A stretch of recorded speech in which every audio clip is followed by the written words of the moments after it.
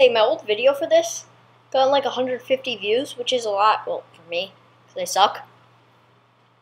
But I really wonder why. I mean, it is just like one of the same videos I do. So, what we're gonna do, what we're gonna do,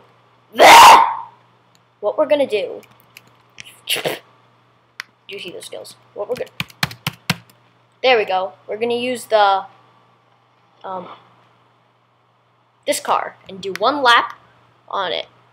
So what you're going to do, power multiplier all the way up to 5 times, 2500 horsepower, do this, max torque all the way up. So torque and power are basically, they're similar but they're like opposites. They're uh, mutually coefficient. Oh, no one needs rev limiters. Inertia, I don't want my inertia and friction to be too bad because then the RPM meter flies all over the place. Transmission, I want my final drive to be around 400, 200, 300, something 100 kilometers per hour.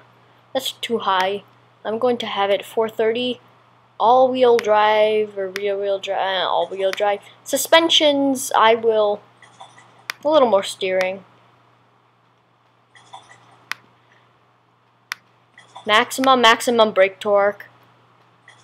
They can't hear that, Blake.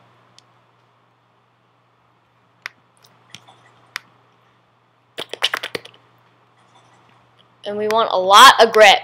A lot of grip. A lot of grip. And we don't want tire pressure. Because without tire pressure, then it goes, Whoa, this is huge! Like Trump. No, And front to rear, we want it more to the front. Oh! what the fuck? Oh my god. Oh!